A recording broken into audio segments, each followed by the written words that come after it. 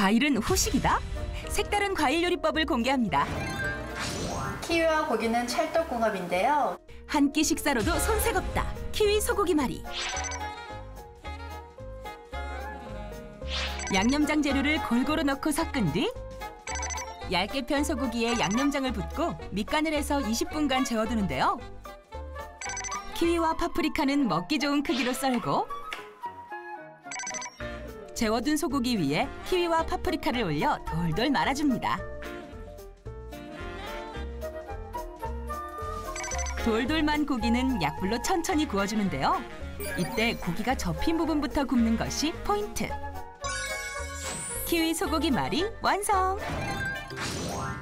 해산물과 궁합도 딱인 과일 관자 요리. 해산물인 관자는 센 불에서 빨리 익혀야 질기지 않고 부드러워집니다. 키위가 물러서 손질하시기가 어렵다고 많이들 그러시는데요. 손쉽게 하는 방법이 있습니다. 반으로 자른 키위를 넓은 숟가락으로 살살 돌리면 알맹이만 쏙! 참 쉽죠? 손질한 키위와 토마토, 양파를 다진 후 준비한 양념 재료와 함께 버무리고요. 접시에 구운 관자와 함께 올리면 과일 관자 요리 완성! 피클을 만들어 두면 더운 여름철 상큼하고 시원한 맛에 반찬 대용으로 먹고 간식으로도 먹을 수 있어요. 과일의 변신은 무제! 피클과 요거트 티라미수. 먼저 피클 국물부터 만들 텐데요. 냄비에 재료를 넣고 2분 정도 저어가며 끓인 뒤 건더기는 건져내고 1시간 정도 식혀두세요. 씨를 뺀 참외와 오이는 껍질째 썰고 청홍고추는 잘게 다져 준비합니다. 손질한 재료를 요리용기에 담는데요. 이때 재료를 꽉꽉 눌러 담는 것이 포인트.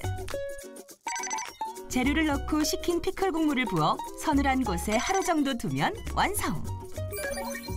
물러지기 쉬운 키위 같은 과일은 먹기 직전에 썰어 함께 담아내면 새콤달콤한 별미가 되겠죠? 과일 피클 완성! 다음은 후식으로 좋은 과일 요거트 티라미수. 투명 컵에 키위를 넣고 요거트를 넣은 뒤 다시 그 위에 키위, 요거트를 켜켜이 쌓으면 보기도 좋고 맛도 좋은 키위 요거트 티라미수 완성! 밥상 위에서도 사랑받는 과일, 오늘 저녁에 올려보세요. KBS